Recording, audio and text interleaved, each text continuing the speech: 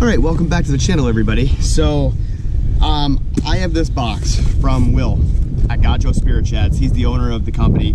Um, I reached out to him and uh, asked for an opportunity to work for him, work with him, not for him, work with him uh, as a promotion for their company. And I thought, I have to do this unboxing. I want to do this unboxing. And I, as you can see, have not opened this box. I'm so excited to know what's inside of this. And uh, it's been a day since I've had it and I couldn't wait to open it. Um, so I just want to go over some stuff that's in here. I have no idea what's in here yet. I'm about to find out at the exact same time you are. All right, so with that being said, um, I'm going to break into this box and see what's inside. Like I said, it's, it's, all brand new for me, and I thought what better place to do it than here at the boat launch at my local lake. Uh, I'm gonna head out to the lake right after this, so we will be able to put some of these baits to the test. Now, I do know this lake is fishing extremely difficult. I know uh, a couple buddies left uh, tournaments early without fish, unable to actually even get fish in the boat. So it has been a very, very, very tough bite from what I understand. I haven't been here in three weeks. The last time I was here, they were on beds. So it's been quite a bit of time since I've been here. Um, they're definitely post-spawn at this point. They're definitely going to feed up eventually, but will today be that day? Will these baits change that? Who knows? I do know that these baits are confidence baits for me, so I, am very familiar with most of the stuff that's going to be in this box. Uh, however, I don't know if they will be able to put fish in the boat today, but we're gonna try. All right, let's get into this box.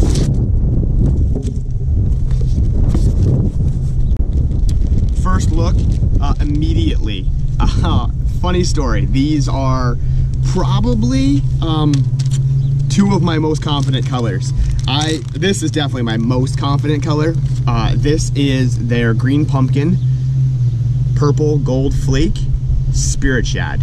And what this is, is basically a drop shot bait. You can throw it on a Ned rig as well, but I use this exclusively for drop, drop, drop shot, find my words. I use this exclusively for drop shot and I've got quite a bag of them. Uh, as you can see, the other item in this bag is Morning Dawn. So we have just the Spirit Shads, Morning Dawn, and the Green Pumpkin Gold Purple Flake. Oh, you gotta see these guys too. Same, same concept, Green Pumpkin, and the uh, purple flake, this is purple black flake, but this is their stick bait. Basically, this is a wacky rigged worm. You can fish it Texas style as well. We'll probably actually throw this today because it's 3 p.m. Sun is hot right now. We are going to probably try to skip a couple docks, see if those fish have pulled up.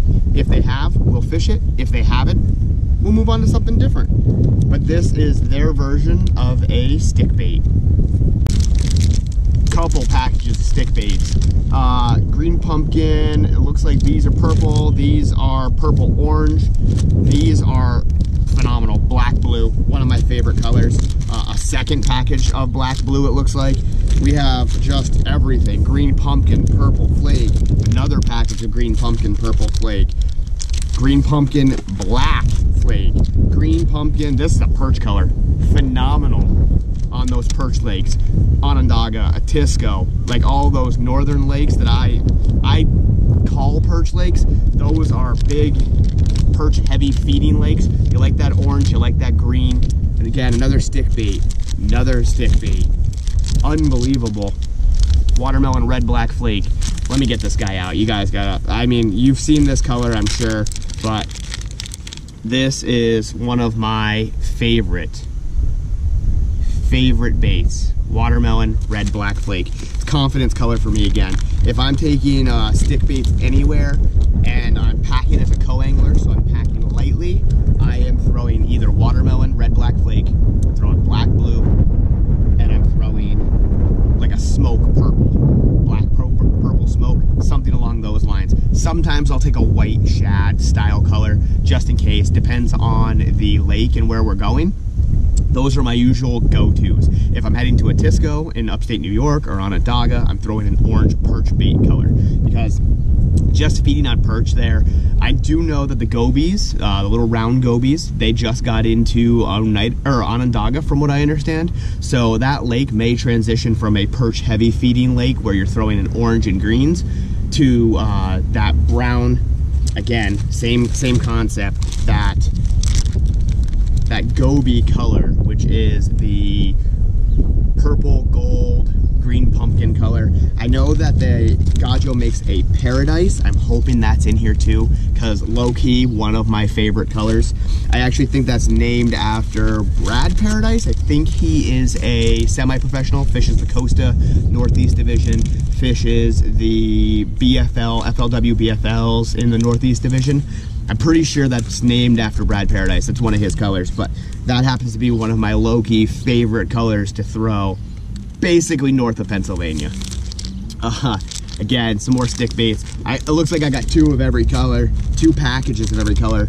Just chartreuse. These are bright chartreuse stick baits.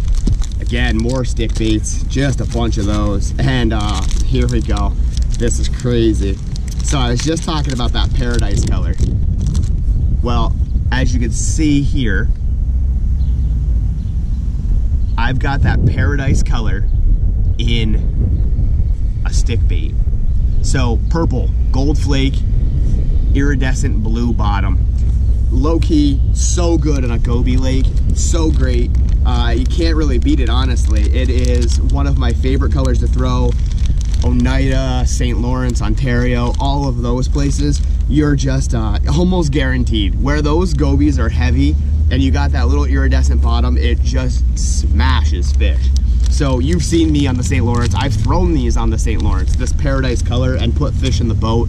I've thrown the Morning Dawn, put fish in the boat. The brown, uh, the green pumpkin, purple gold flake that I told you is probably my top color, regardless of where I'm at. Uh, I've thrown that on the St. Lawrence when we were up there. I think you saw two tournaments if you look back in my videos. And uh, both, all three of those colors, I've had extremely good success for. I really do hope that there are some serious amounts of that paradise color in the in the spirit shads and uh, another phenomenal i'm looking at i'm smiling because i've got three more, more packs of the black blue spirit shad which again anytime that water is dark oneida has got a, had a real bad time recently with some bad algae blooms. And uh, anytime that water is super duper dark or dark green i'm throwing black blue. It's just what i go to. If it's real green green uh, sometimes that brown will contra contrast really well, like a dark brown, but I, am usually throwing black. I'm not gonna lie to you. I'm throwing a black jig, I'm throwing a black. I'm throwing, if I'm throwing drop shot, I'm throwing a black Gajo Spirit Shad, or I'm throwing a black Senko. So, I mean, that's just my go-tos. Uh, so I'm glad to have a couple packs of those. Here's another, again, chartreuse. This is a real good color, again, when that water gets muddy or dark. Um, again, one of my go-tos in the event that the water is muddy.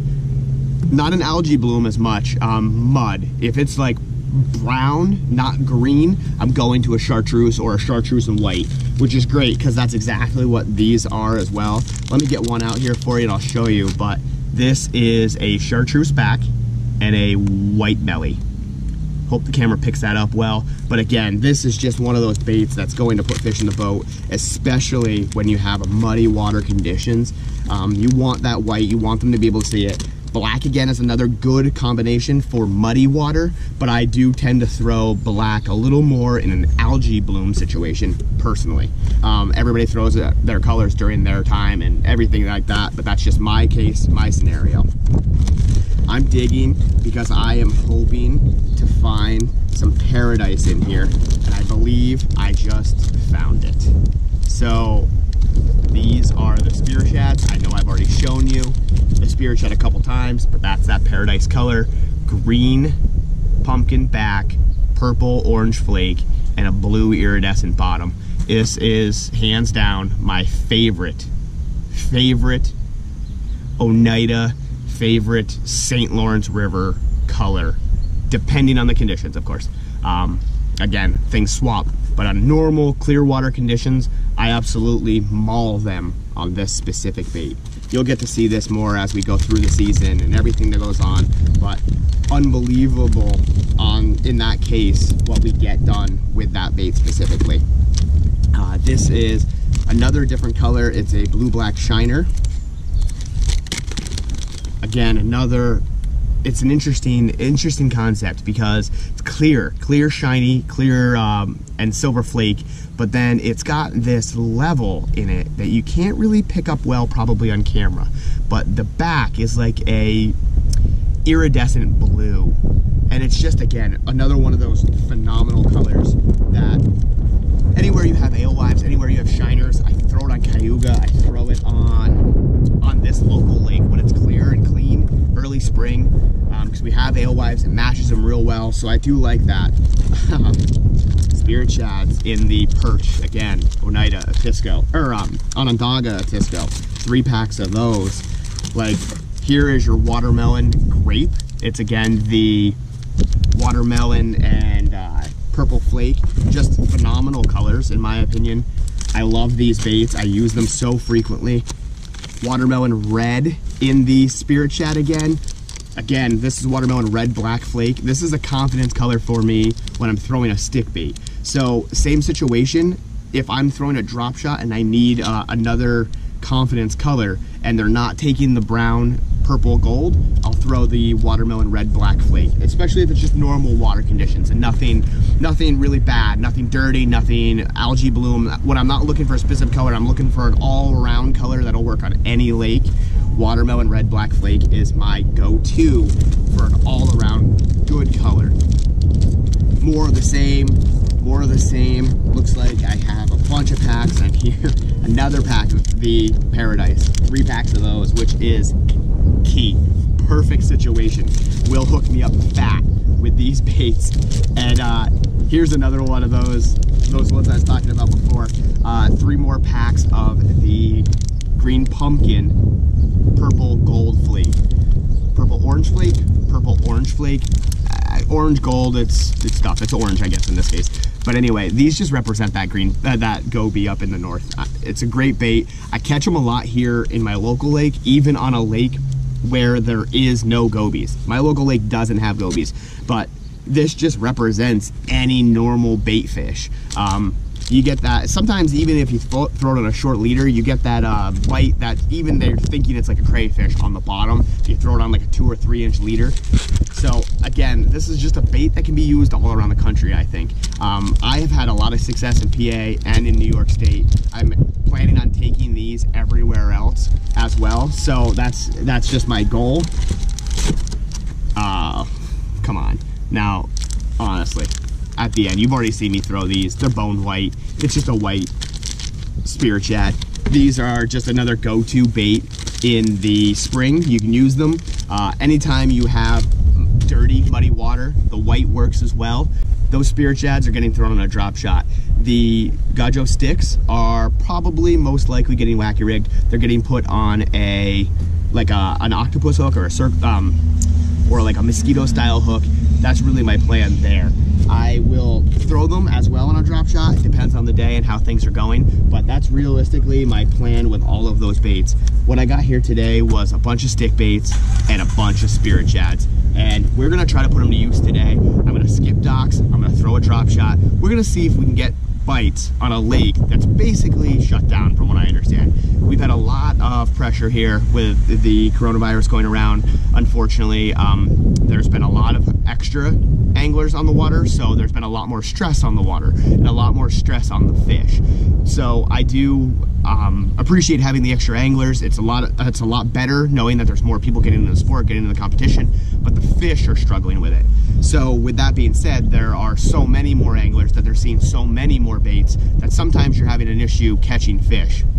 And now that I'm talking to you and looking down at my hands, the spirit shads are also oily, um, salt impregnated. They're, I don't know what the smell is. I really should ask. I don't know what that scent is, but either way, it's on all over my hands from holding these baits. I'm gonna try to get cleaned up real quick, and I guess I will throw you to my chest, and let's get on the water and see if we can get some bites. Stay tuned. All right, guys, so bad news.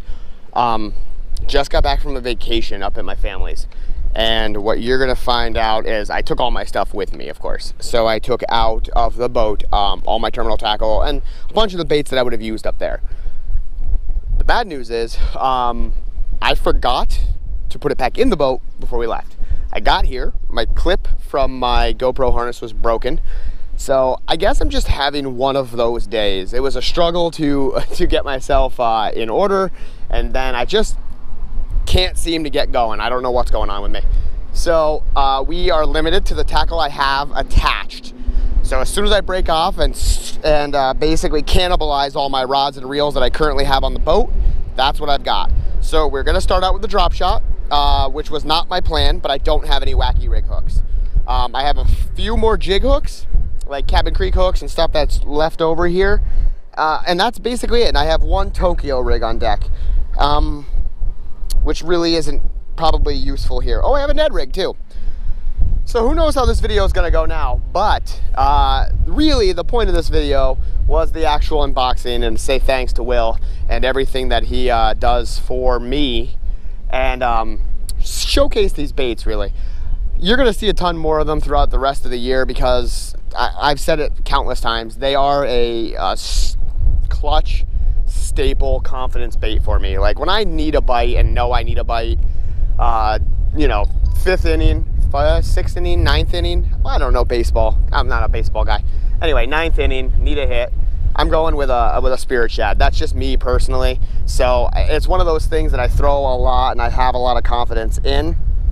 So I'm all about all about trying to get these uh, get these out here and get a bite on them. Uh, I throw in, or I am throwing black blue. It's just kind of, again, the water is green. This water is always green. And I know that black blue is a decent color here. So it's just one of those things. But gonna see if we get a bite. We might not. Uh, I know it's been tough. I just saw a couple of friends of mine leaving the lake that didn't have anything going on today. Nothing, nothing exciting, nothing big. Uh, a couple smalls, but that doesn't really get me down. I'm just gonna keep going and try my best, see what I can do. Right now I'm fishing a little flat, there's a weed edge in there. I actually don't know if the weeds came up. I kind of have to scroll in to see if they came up or not. I marked one fish in 15. I'm really trying to get down to this point. I'm working with the wind here a little bit, trying to get down to this point and I'm going to, at this point, kind of turn around and work the point. See if I can get any of these smallies that come back, have come back out. I don't know if they will have by now, but I'm gonna see what I can do. Uh, I just had a hit there, a little hit, little, little, little tiny hit. Could have been a uh, rock bass, but little hit.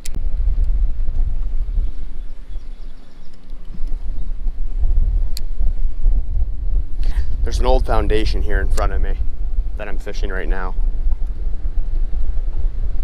It's in like six or eight foot of water. Little bite there, but again, they're just pecking at it. It's gotta be sunfish.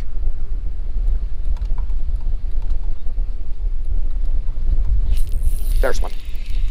Ha! I was wrong. It's a rock bass. Just goes to show you though, these baits will literally catch every species. Welcome to the to the boat, rock bass. Back to the resource. I knew there was a fish there, just didn't know what fish it was. Found it out. All right. So just nose hooking this this Gajo Spirit Shad. And like I said, black blue is just one of my staple colors. All right, guys, gonna change up. I am looking for a that tried and true color I was telling you about. I am looking for the brown, mm, maybe just a purple. Purple black. Let's do this. So I'm picking a stick bait here we know, like I said, I'm limited on tackle, uh, so I don't have a skipping hook. But what I'm gonna do here is take one of my rods. Probably this won't work because I'll end up getting hung up and losing it immediately. Uh, I am taking one of my rods. I'm going to actually take this stick bait, fold it in half, find that center line, and I'm actually gonna break this off a little bit on the short end at the like fourth knuckle down because I am going to take this bait and turn it into my Ned rig. So now I have basically a little turd boop, on a cannibalized Cabin Creek jig head, which had a swim bait on it. But that bite I know has died off. Uh, it usually does by this time of year because they've stopped being up here feeding on bait fish shallow. Now I'm just throwing a green pumpkin purple, oh, dark green pumpkin purple. Stick bait, Gajo stick bait. I, I lost my train of thought because I was looking where I was going to throw. And I'm going to try skip it up under the docks for as long as I can before it breaks off. Uh, probably two casts if I know anything about this lake, which I would say I do, but we'll give it our best. Ooh, got pecked. Must be the uh, rock bass are still really, they're doing a number on this lake. I don't know. Uh, maybe we need something that eats rock bass. I don't think that the bass bass are doing a good enough job. Yep, it is a rock bass. So we've got two rock bass on two different versions of Gajo baits. One on the stick bait and one on the spirit shad. So that is my fish for the day. Number two, I should say, actually. Back to the resource he goes. Boop. And he's gone. Something.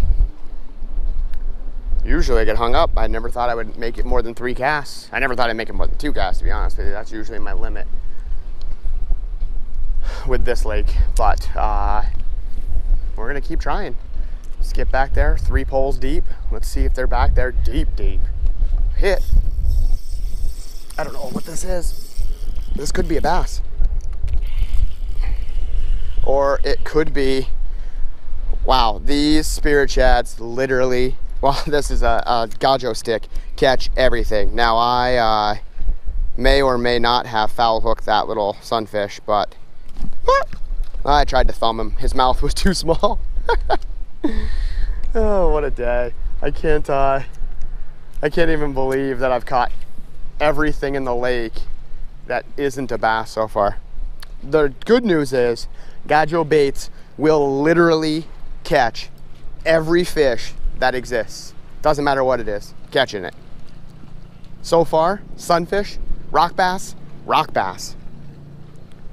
Not the species we're after, but it will catch all versions of the food chain from the bait to the bass. Just got to get the bass now.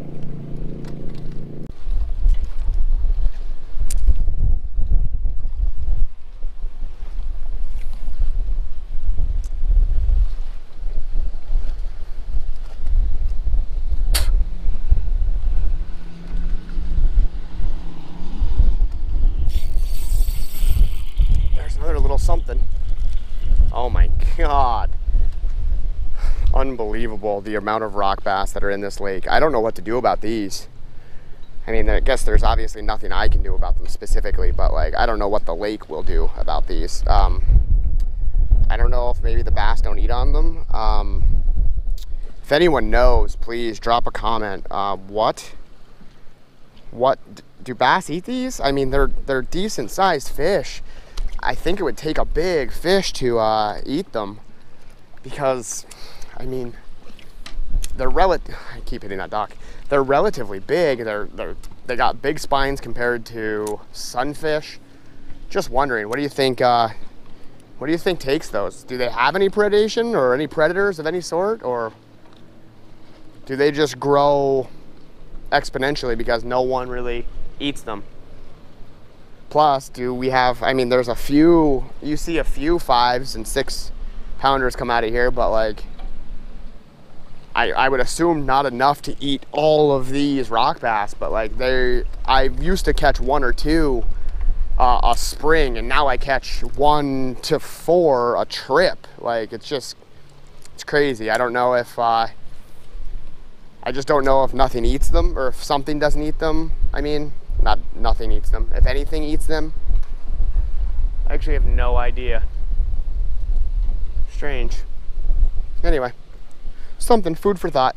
Let me know in the comments if you if you know, uh, or maybe you have an example of a bass that's eaten rock bass, or if they do that, or if they just don't have natural predators. Maybe that's the case. I wasn't even filming for this, guys. I skipped under that same dock again and caught a second rock bass. I don't even know. I don't. I don't know what to say. This is literally rock bass number, I think, four for the day. You might have already seen four, maybe. I think there's four. Anyway, another rock bass. Crazy. They're just nuts. There's so many. I don't know what to do about them. I don't know if anything can be done about them.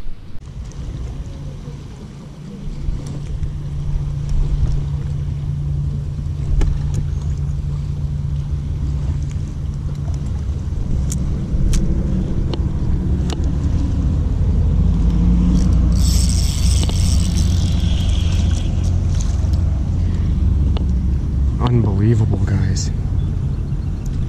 Never seen anything like this. I can't stress how important it is. Drop a comment. Why are these guys so prevalent?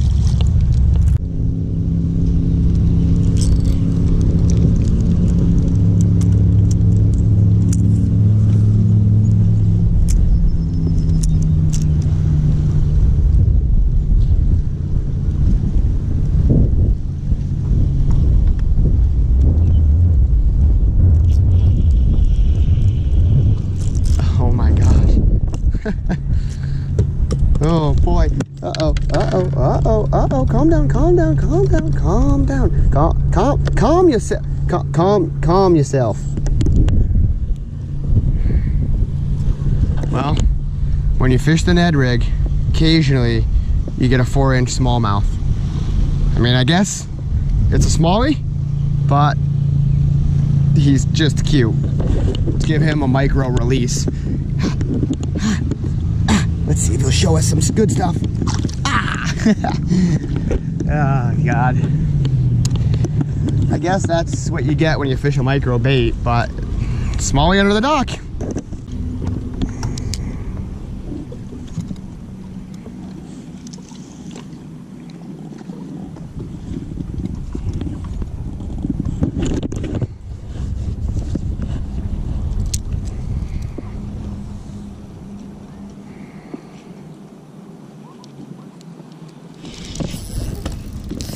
There's one.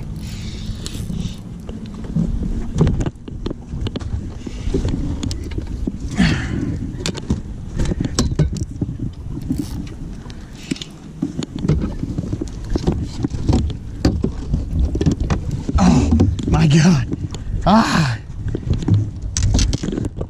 Am I recording? I am recording. Well, there you go, guys. I thought today was gonna be a complete failure. Um, as you can see, Gajo Spirit Shad, drop shot, little skinny bear, mosquito light wire hook, gets a two and a half pounder. I mean, like I said, it's not a specifically a big fish, but it is a largemouth nonetheless. And this is a good feeling. So today, guys, I have unboxed the Gajo baits, tied on with limited tackle on a drop shot, and put a two and a half pound largie in the boat. I know that this is a, a nicer fish in this time because some of the tournaments are getting won with three pounders as the biggest fish. So a two and a half is an amazing fish in theory. Just wash my hands real quick. A two and a half, a bag of two and a halves can almost win it when you have three pounders and three and a halves as your lunker for the tournament. You know what I mean? That's a that's not far off on a kicker fish, basically. Oh my gosh. Finally, I've been searching for like two and a half hours now, three hours. Oh, two and a half hours it's been trying to get one bite and I finally just, I, I should never set down the drop shot. It's just a confidence uh, tactic for me. I know it catches fish and I know that if I fish it, oh, he ruined that. If I fish it long enough, I will catch fish and they will be good ones. So we're gonna dig back into this Gajo Spirit Shad baits, or Gajo, Gajo baits box and get us another black blue flake and uh, rig back up and go from there. Hopefully we can get a couple more. That would be super nice. I would be really excited about that, especially after fishing, like I said, on such limited tackle. Um, I only have one drop shot tied on. I usually lose this in like the first six casts. So I don't even know. Someone's on my side today. I don't know who, but somebody's on my side because I still got it so far. Knock on wood. I'll probably lose it now that I said something, but usually I'm already through 10 drop shots by now. Two hours in? Oh my gosh, yeah, absolutely. I usually can lose uh, either a sinker or a hook every 10 minutes because this lake is just sticky. You just break off. There's rocks everywhere. People throw the mattress springs in here to stop fishermen from fishing underneath their docks. There's just like a crazy amount of stuff going on. But anyway, thank God one fish finally.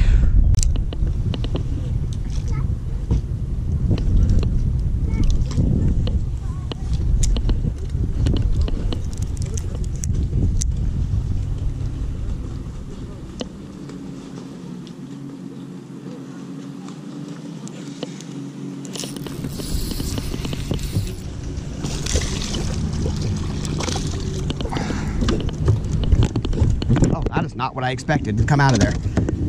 All right, guys, that's not what I expected to come out of here. Uh, let me turn you around. I've got to get switched around myself so that my boat doesn't bump their dock. Um, little largy. He's not probably legal. I think he's only about 12, 11 inches, maybe on the high side, but not a bad fish. Um, still happy to have him. Him on that black Gajo Spirit Shad again.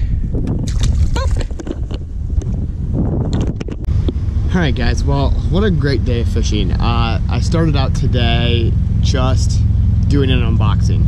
I wanted to do an unboxing in a different location, so I came out to the lake and did it in the parking lot. Uh, no matter how hot that was, let me tell you. Um, I was all discombobulated after my trip to my family's. Like I said, you'll see those videos coming out pretty soon here.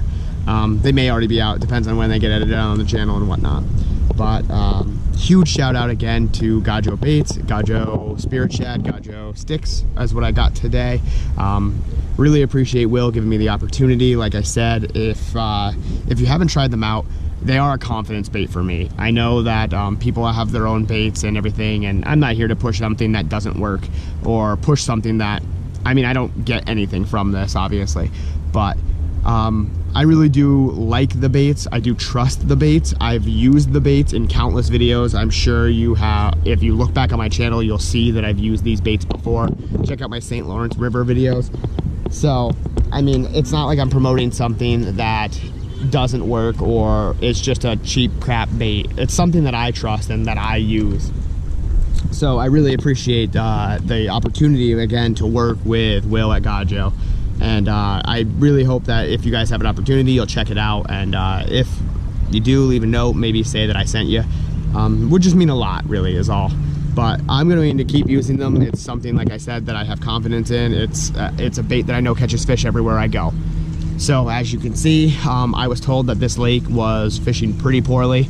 And uh, I caught three tonight. Um, technically if you count that smallie that jumped off um, when that lady was speaking to me I just caught one out of a weed bed up here in another uh, spirit shad, but at this point my camera was off, unfortunately, so I don't have that one. But um, I did catch, technically I hooked four today. Um, sorry about that interruption. I was trying to beat my battery dying, but I got a little long-winded on Gajo. Um, anyway, guys, if you can, please hit that thumbs up button and the subscribe button down below. Uh, if you have the opportunity, um, give the video a, a like and uh, share the word. Share it on your channels, share it on your social medias. It really goes a long way and I really appreciate it. And uh, until next time, I'm not sure what I have planned coming up the pipes, but uh, I guess just roll that music.